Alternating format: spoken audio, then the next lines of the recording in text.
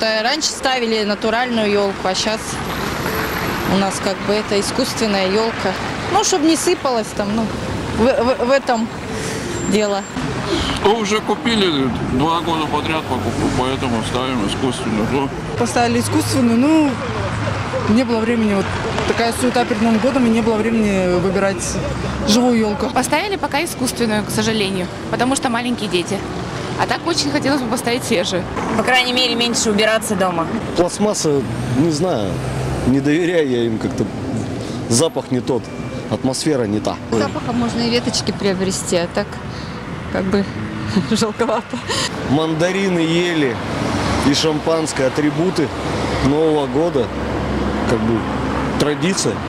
Настоящие веточки на даче срезали, по дому развесим для запаха. Чтоб запах хотя бы в доме был какой-то новогодний.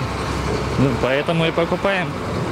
Чтобы было новогоднее настроение. И... Живую охоту, чтобы пахла елка, чувствовалась Новым годом.